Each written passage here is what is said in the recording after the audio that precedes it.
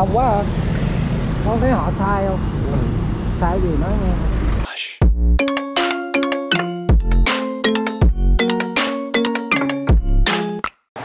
Uh, hello, chào mừng các bạn đã quay trở lại với Sam Vlog. Và như những gì mà mình hứa thì uh, đây là con xe của chú Lân Nhưng mà để dắt qua kia đã, nắng quá. MT3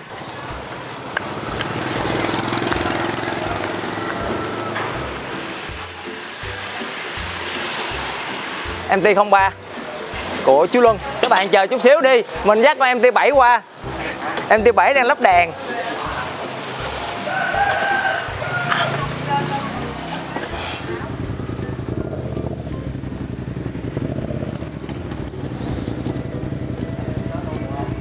Hello các bạn, Đây là MT3 của chú Luân.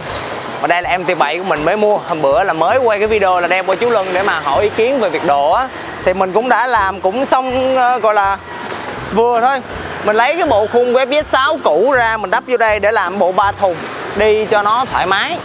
Còn ờ, uh, MT3 của chú Luân thì uh, là cái tour sắp tới mình với chú Luân đi Sài Gòn, Nha Trang, Đà Lạt.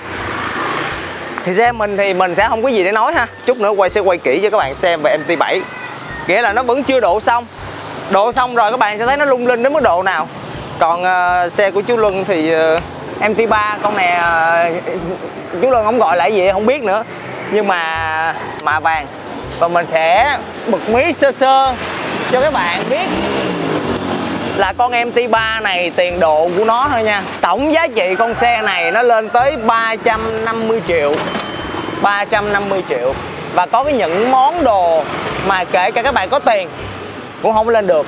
Thì thôi, mình giờ mình sẽ uh, vô uh, Thật ra thì hôm nay là mình với chú Luân qua để chốt lại vấn đề là tụi mình sẽ đi tour như thế nào Và đi uh, gọi là phổ biến cái tour một cách uh, gọi là xương xương thôi. Để uh, vô vô tour chính thức mình với Luân chạy nó cũng đỡ bỡ ngỡ. Có gì thay đổi không chú? Có gì thay đổi? Chú chú thấy sao? Bây giờ cái này uh, con thì sẽ chắc là đi một cái túi thôi. Nó có thể đi hai cái thùng hông mà bây giờ con nghĩ là để cái khung thôi để cái khung cho nó đầm xe rồi gắn cái túi như ở giữa như bữa chú nói gắn cái kịch lên cái xong rồi đi. Cái này nè dạ. chú nói với con rằng là cái này nó dễ lắm. Ở đây người ta chỉ hàng thôi. Dạ. Thì với cái chiều cao này là nó sẽ trao cái xe kinh lắm. Khi mà con gặp gió trước. Ừ. tại vì khi mà mô tô thì con biết tốc độ rồi. À, thí dụ Dạ. như cỡ tốc độ cỡ trăm ba hoặc trăm tư là với cái này là nó trao kinh nó trao hả? Nó, nó, nó sẽ đẩy cái xe con rất là ghê. Thì con phải hạ cái độ cao này xuống cái này đơn giản lắm ha. Dạ dạ. Xả cái này ra con làm sao con xuống đây? Làm sao mà con xuống tới đây? Tức là cái này nó thấp xuống. Rồi đưa cái này khi, thấp khi, xuống. khi mà cái này nó liên quan tới tới khí động học rồi nó không đơn thuần là cái chuyện là phải gắn được cái gì lên. Dạ dạ. À, con phải xuống tất cả này. Ha dạ. Thì cái trọng tâm xe nó sẽ khác nó sẽ đỡ hơn rất vậy thì chắc là cũng phải hạ luôn hai khung xuống xíu nữa. Hai khung hai bên. Cái hai bên thì nó lại không có quan trọng lắm cái phần đằng sau nó cực kỳ trọng ừ. tại vì ờ, cái này bây giờ là gắn hai cái thùng vô là nếu mà gắn thêm cái thùng sau nó mở yên mở cái thùng cũng được. Cái thùng là mở lên. Ờ, cao lắm. Dạ. Cao lắm rất cao luôn chứ không phải là cao. Rất cao luôn. Quá cao thắng thì sao chú? Dầu thắng rồi vệ sinh thắng hay là? Cái thắng thì ờ, đối với thắng mô tô nó nó rất là quan trọng. Dạ. Gần như xe mô tô không phải bộ phận nào bộ theo chú theo cái quan điểm ờ, ngu dốt của chú thì cái bộ Dạ. nào cũng quan trọng. Dạ. Tại vì nó sẽ có tốc độ cao. Cái- cái nào nó cũng quan trọng hết. Thì con đem ra một cái người chuyên về thắng.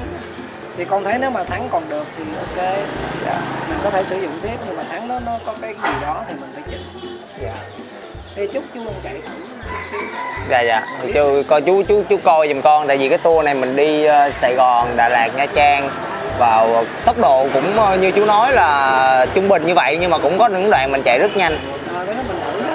Dạ. Thì mình có cái cảm giác thử chơi thì con bởi con mấy con cũng ngại quá bữa giờ con cũng chạy hai ba chục cây ở trong Sài Gòn á mà cứ nó nó lanh quá nó nhẹ mà nó mạnh á mình dặn cái nó nó nhóm dặn cái nó nhóm.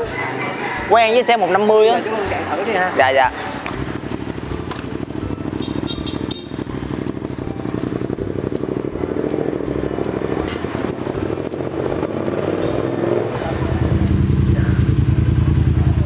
không cái máy này tốt à À. cái xe này độ cân bằng tốt. Nãy buông tay thử rồi. Dạ. Thử xe là không phải chạy nhanh. Chạy chậm mới biết ra cái nó bệnh gì á. À. Tour này chắc con khỏi lên đèn hả chú? Con cứ lên cái đèn để bắt xin thôi. Đi với chú thì cái chuyện đèn nó vui thôi đi ban ngày. Mình cũng chẳng đi ban đêm. Mà kể cả con đi ban đêm thì như cái chú ra từng khuyên con thử đi. Dạ dạ một cái đèn zin bình thường, con chạy thử cái đó. Thôi, con con sẽ thử ở trên một cái tour mà xe nhỏ. Chứ con này mà nó mà có gì, nó nặng lắm chú ơi. Nó nó nó nó, nhiều khi cái máu mình lên trong cái lúc mà mình đang ôm đèo á, đang cua cua, tự nhiên có cái đường thẳng ý lên cái là phản ứng không kịp. Con hơi sợ. Để đi xe nhỏ, con sẽ thử. Xe nhỏ con sẽ thử cái đó. Rồi, nếu mà như vậy thì mình cứ dựa trên cái cái tour lúc đầu mà con với chú lên thì tới giờ thì con cũng qua rồi. Vẫn vẫn như vậy ha. Rồi ok.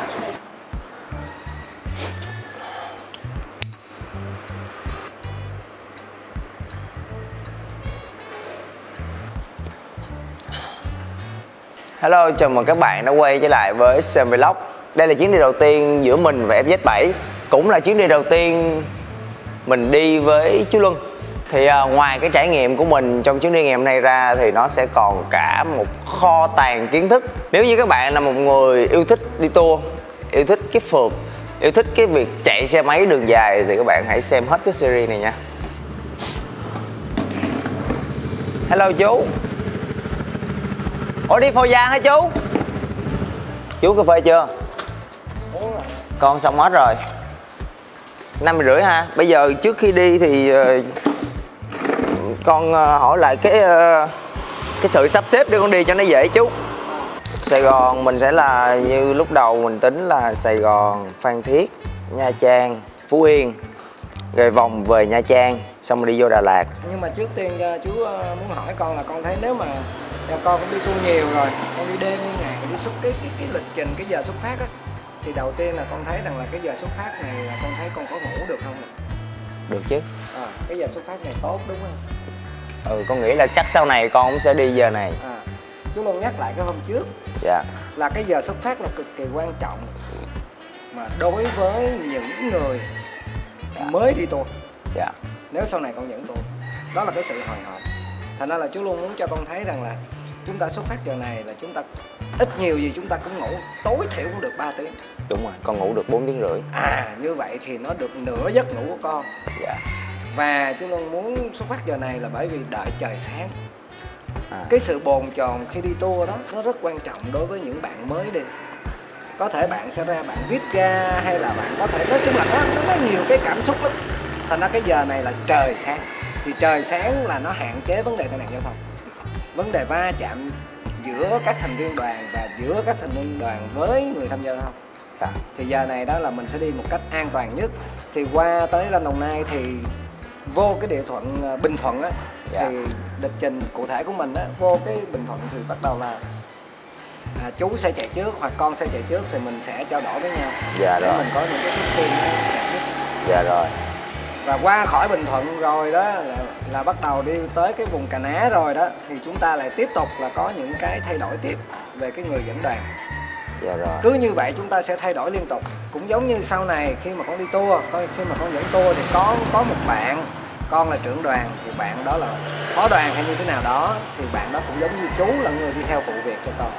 Dạ thì rồi. mình phải trao đổi liên tục ở trên một cái cái cung đường mình trao đổi liên tục ở những cái điểm dừng.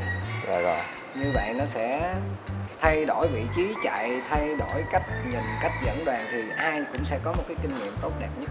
Dạ rồi. Con đi chưa từng đi tour vào cái giờ này bao giờ Coi cho con hỏi là nếu như mà Chú có ngại cái việc mình đi trước mà nắng nó chiếu ờ, trước mặt luôn. À chú thường đi cái giờ này thì chú thấy cái cái đó nó cũng có một cái hay nếu mà con sử dụng nguyên phiên chụp hình thì cái mặt trời lên đó nó rất là đẹp. Dạ đúng rồi. Cảnh bình minh mà ở bên ngôi nhà lá nó cũng đẹp nữa thì đó cũng là một cái điểm mạnh. Dạ. Và một cái cảnh đẹp tự nhiên để cho con hoặc là các bạn đi tour chụp hình. Chứ con đi ban đêm con thấy rồi đó. Con đi ban đêm nhiều đúng không? Con thấy có những cái cái khung cảnh nó rất là đẹp nhưng mà con đã bỏ lỡ và khi con về thì con cũng đi ngang đó nhưng mà con lại về buổi tối.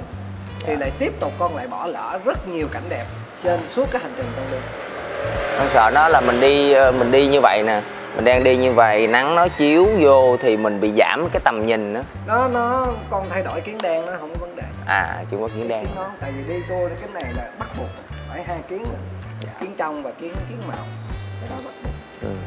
không thể nào. Là đối với những người đi một cái nón mà nó chỉ có một kính thì ờ, dừng lại thay cái kính đen vô để mình đi buổi sáng. như chú thôi à là bình thường chú sẽ đi kính đúng kính rồi trắng. sáng sớm mà chú đi kính trắng. Ra à, chú là khoảng chừng 6 bây giờ nếu mà chú thấy bắt đầu nó chói quá chú chịu không được á. Dạ. chú ra dấu cho mình dừng đèn chút xíu là mọi người mọi người cùng thấy dạ. để nói rồi thì chắc là không có gì thay đổi đúng không chú? Như bình thường đúng không? Đúng rồi. Vậy thôi ờ, chú cháu mình đi nha. Rồi đi chú.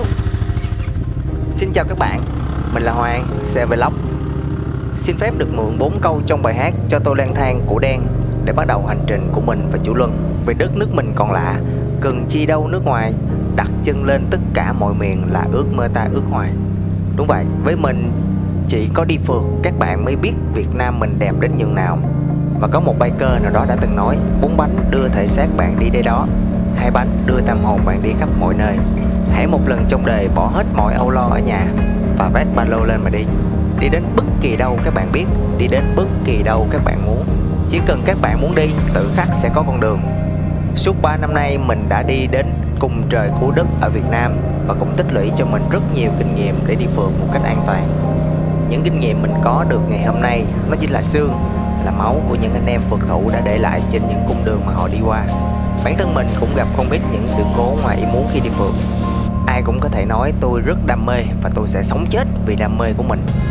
Nhưng đã có ai đó đã làm gì cho đam mê của mình hay chưa?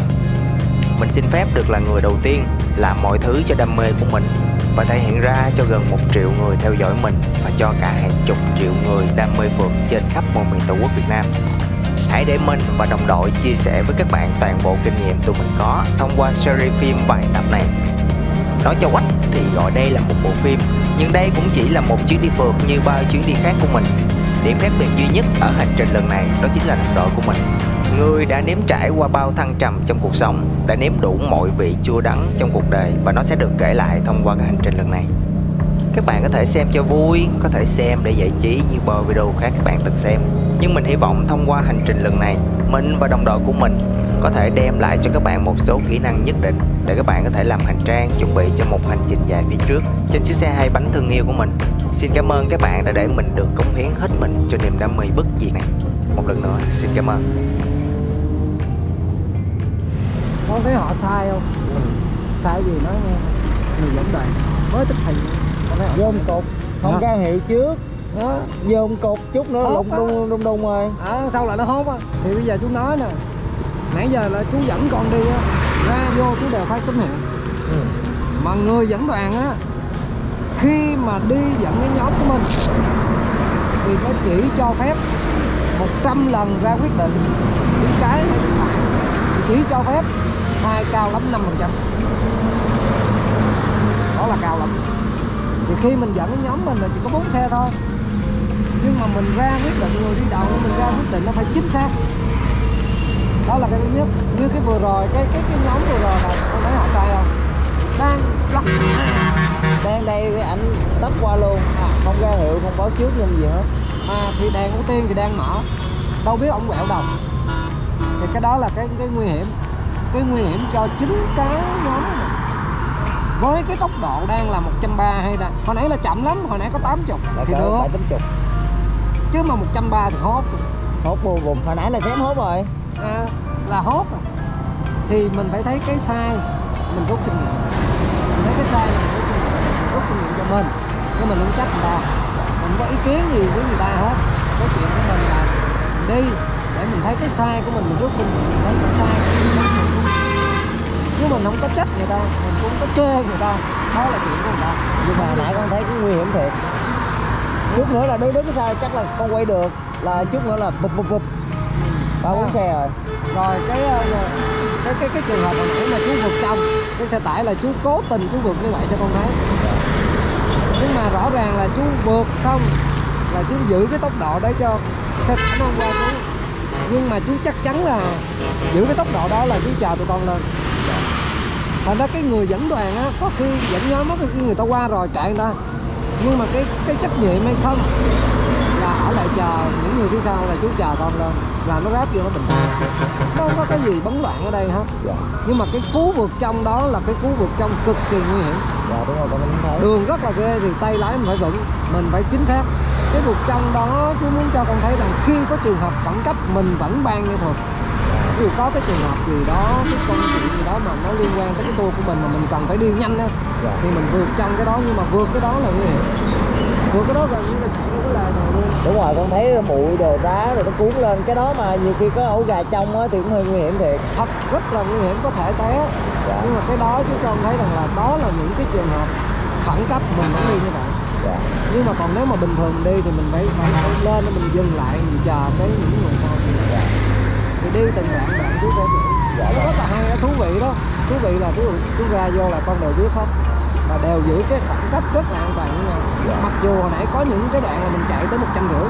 Dạ đúng rồi. À, nhưng mà như cái cái, cái cái cái nhóm vừa rồi là họ chơi quá ghê rồi họ cúp. Ở đây ở bên phải họ phát một phát một ba bốn xe nó dồn tục vô qua bên trái. Đó thì À. mô tô nó nguy hiểm cho đó con Dạ. để con lưu ý lại cái chuyện này luôn. Dạ.